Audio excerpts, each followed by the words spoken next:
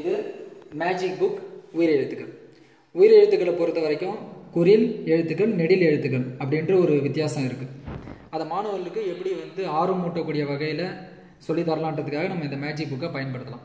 இப்போ first time நான் இந்த மேஜிக் புக்கை ஃப்ளிப் பண்ண போகிறேன் அப்போ நம்ம உயிர் எழுத்துக்கள் பன்னிரெண்டையுமே பார்க்க போகிறோம்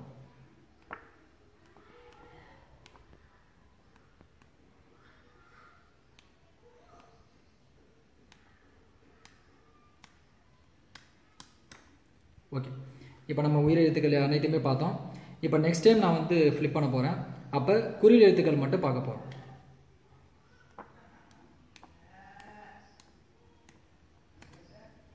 இப்போ குறியல் எழுத்துக்கள் மட்டும் பார்த்தோம்.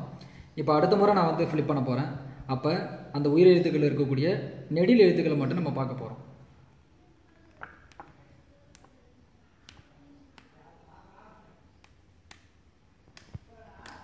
ஓகே இப்போ நெடில் எழுத்துக்களை மட்டும் பார்க்க பார்த்தோம். மேஜிக்ன்றது இயல்பாகவே மாணவர்களுக்கு ஒரு பிடித்தமான ஒரு விஷயம். அந்த விஷயத்தை இந்த பாடப்பொருளோடு சேர்ந்து கொடுக்கும்பொழுது அவர்கள் ரொம்ப ஆர்வமாக கற்றுக்குவாங்க அவர்கள் மனசில் வந்து ரொம்ப சிறப்பான முறையில் வந்து அது பதியும்.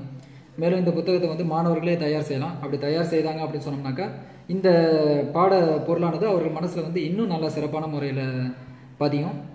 அதனால் இது மாணவர்களுக்கு ரொம்ப சந்தோஷமான ஒரு பொருளாகவும் அமையும். இந்த மேஜிக் புக்கானது நன்றி.